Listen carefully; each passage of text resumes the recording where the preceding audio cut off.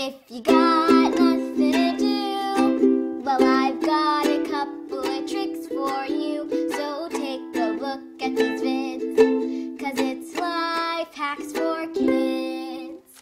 Hi, I'm Jordyn, and today's episode is Make Your Own Luck Hacks.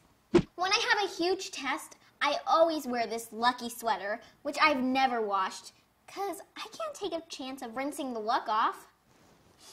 Whew, that's a lot of luck.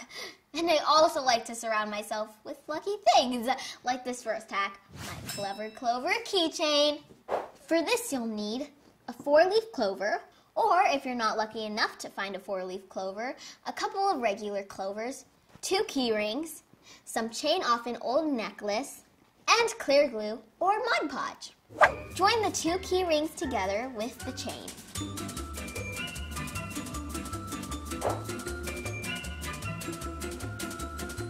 Now, put the key ring on something that won't stick, like a plastic mat or parchment paper. Squeeze a layer of clear glue or Mod Podge into one of the rings. Let it dry.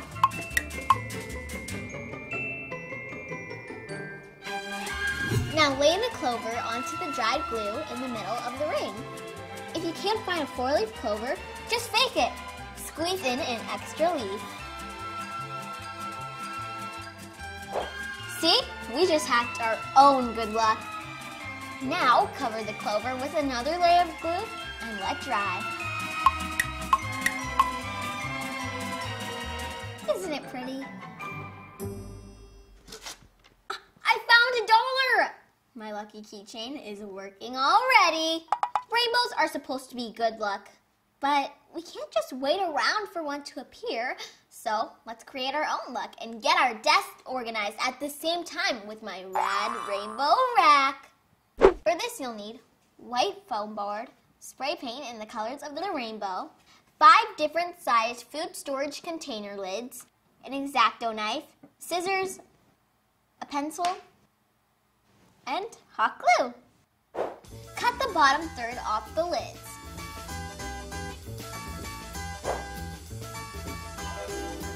Paint the largest lid red. Continue spraying each smaller size the next color of the rainbow. Like this! Whoa! Draw a cloud shape on the poster board.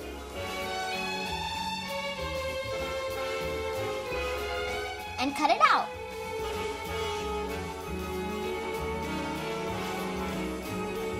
Rainy day. Trace the lids onto the cloud.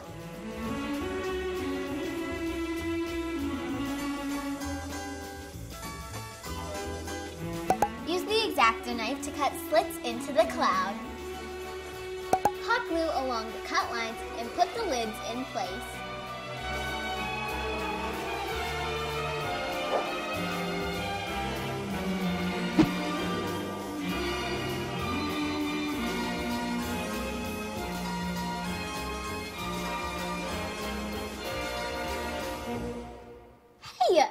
Cleaned up my desk, I found my lucky penny. It's from the year I was born, 2008.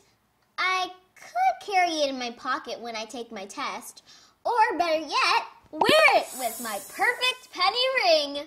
For this, you'll need strong glue, a big button, a lucky penny, a pipe cleaner, and scissors. First, wrap the pipe cleaner around your finger three times. Extra and twist the ends together.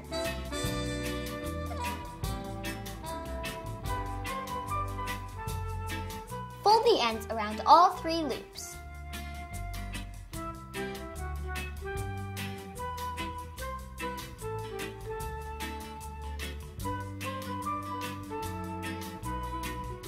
Now glue the penny to the middle of a button.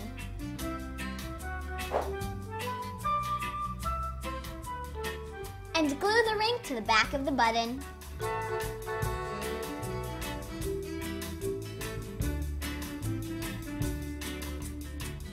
Wearing my lucky penny like this just makes sense. What? Wow! A coupon for free Froyo! Thanks, Lucky Penny. With all this luck, I'm sure to ace my math test. But I'm still gonna study, just to make sure. Good luck making your own luck. Bye, everybody!